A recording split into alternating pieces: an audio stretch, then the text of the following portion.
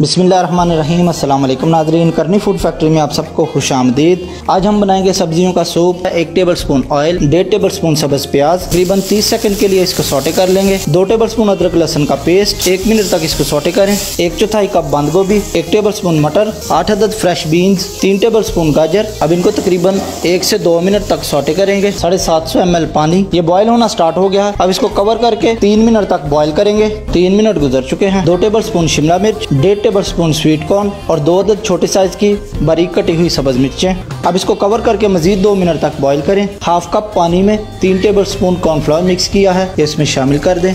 अब इसको तकरीबन एक से दो मिनट तक कुक करेंगे और साथ ही इसमें शामिल कर देंगे नमक, काली मिर्च का पाउडर और थोड़ा सा सब्ज प्याज। अच्छे से मिक्स कर लें। दो मिनट गुजर चुके हैं इसको बॉयल होते हुए और सूप भी हमारा गाढ़ा हो गया है। अगर आपको ये वीडियो अच्छी लगी है तो लाइक और शेयर कर दे और हमें फॉलो कर दें।